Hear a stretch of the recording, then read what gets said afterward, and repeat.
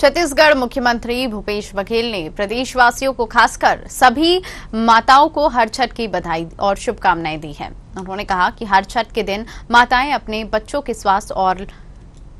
लंबी उम्र के लिए व्रत रखकर प्रार्थना करती है साथ ही सीएम बघेल ने अपील करते हुए कहा कि बचाव ही सुरक्षा है इसे ध्यान में रखते हुए सभी माताएं बहनें पूजा के दौरान कोविड संक्रमण से बचाव के लिए जारी दिशा निर्देशों का पालन जरूर करें